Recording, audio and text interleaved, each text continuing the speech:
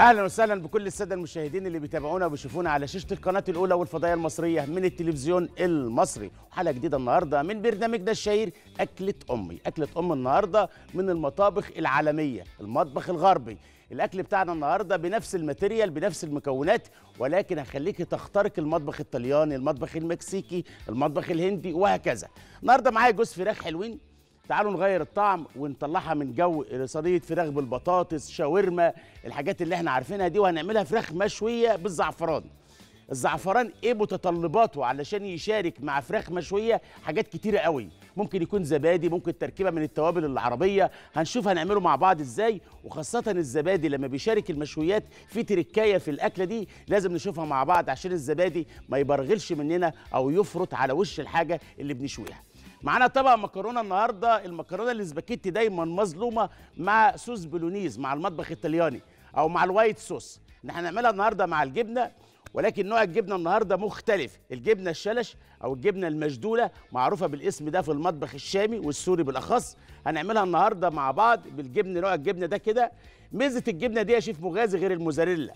لما بتخش مع ال white sauce اللي أنا هعمله بتشد وبتبقى مطاطية. الأطفال بيفرحوا بيها. وبتعجبهم قوي على فكرة. فطبعا المكرونة ده له مذاق خاص بنوع الجبنة ده. هنشوف نعمله مع بعض إزاي بطريقة لطيفة وحلوة. الحلو بتاع النهارده بيناسب الرياضيين كبار السن الأطفال الحلوين ولكن هنعمله بطريقة جديدة. كاسات التمر أو المهلبية التمر بالمكسرات والعسل. الميزة في الطبق ده فيه كل العناصر الغذائية اللي بيتطلبها الجسم حسب الأعمار صغير وكبير. حلقتي فيها تفاصيل كتير معلومة غير معلومة.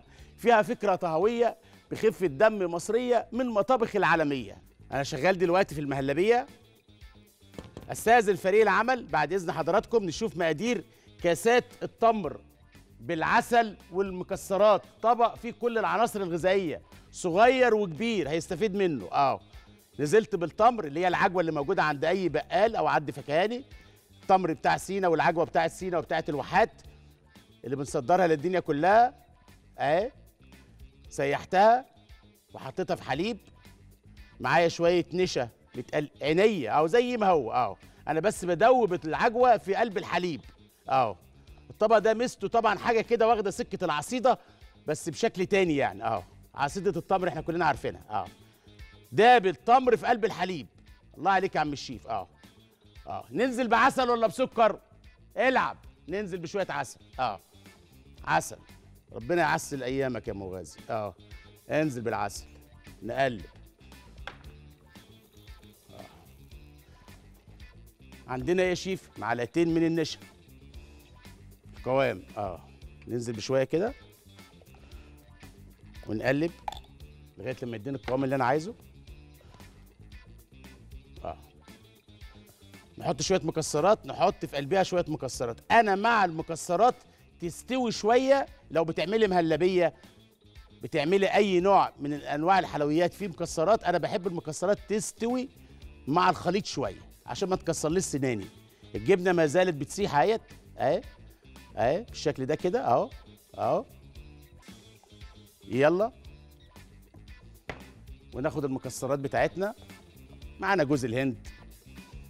طيبة لطيفة أهي بيسموها دوفر. لما تلاقيها عند الراجل العطار يعني تبقى طويلة شوية معانا فول سوداني معانا زبيب معانا نوع تاني من الزبيب الأيام دي هيكتر الزبيب بقى واليابيش بتاع رمضان في البيت. تحب ليه حشوات كنافة حشوات بسبوسة؟ معانا شوية لوز متكسر وجاهز شبه الصنوبر كل ده في قلب الإيه؟ التمر والحليب. ياخد غلوة. دي طريقتي. وتسيبه على نار هادية كده. آه. تقومي لما تاكلي من المكسرات ديت تلاقيها طرية. كبار السن لما ياكلوا منها ما تأذيهمش. الأطفال لما ياكلوا منها ما تأذيهمش. تعالوا مع بعض نشوف كاسات التمر.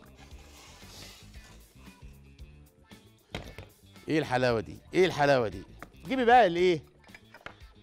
الكاسات بتاعت الجيران أطباق الجيران. خبطي على جارتك كده وصلة الرحم. راح تزوري حماتك. يا حماتي كل سنة وأنت طيبة. ما رضيتش اعدي على الحلوان اللي على الناصية أجيب لك تورتاية. عملت لك النهارده حلو على طريقة الشيف المغازي. ما كلفنيش ثلاثة تعريفة شوية حليب من التلاجة شوية عجوة وعملنا كاسات التمر بالمكسرات والعسل. ممكن تستخدمي بدل العسل شربات عادي. آه. اللهم صل على النبي. أنا مع إن المكسرات تغلي فين يا شيف؟ آه. آه. آه. لسه هنحط كمان عليها مكسرات. آه. شفت أنا بغرف إزاي؟ آه. آه. بالشكل ده كده آه. عشان الطبق يبقى بتضيف معاك آه. تلتينه كويس. آه. آه. هيدعي لي اللي ياكل من دي على فكرة؟